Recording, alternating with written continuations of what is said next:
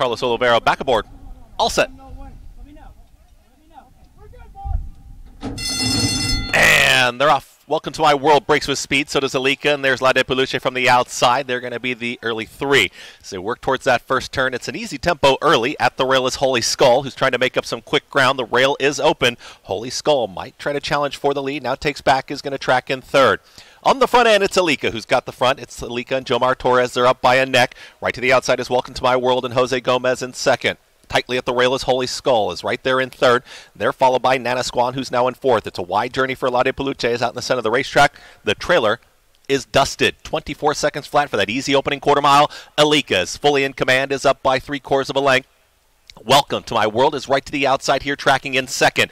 Marin is waiting for room here at the rail with Holy Skull as they're approaching that half mile pole. La de Peluche is still wide, is in fourth. In between horses is Nanasquan, who's in the fifth position, patiently ridden, looking for a seam, and the trailer that's dusted. Alika has had it her own way. It's Alika who's still in front, is up by a half length. Welcome to my world. With every chance at four to five, has been stalking this pace setter. Holy Skull is dropping back quickly. La de Peluche is alone in third, is now under full drive, trying to make up the ground. Also trying to run on his Nana Squan. Dusted still the trailer.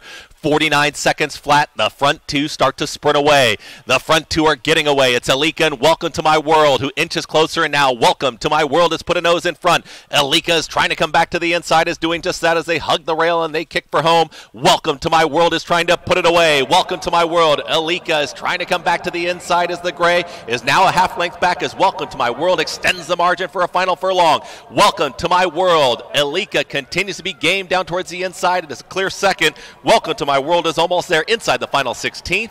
It is going to be Welcome to My World gets it done at 4 to 5. Welcome to My World gets it over 3 over Alika, then La de Peluche, and dusted in 1 minute 48 seconds flat.